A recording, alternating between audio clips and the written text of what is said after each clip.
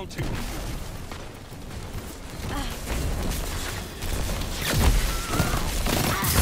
your partner your devotion. Finish this. Listen. If anyone ever asks you who brought you two together, you tell them it was me.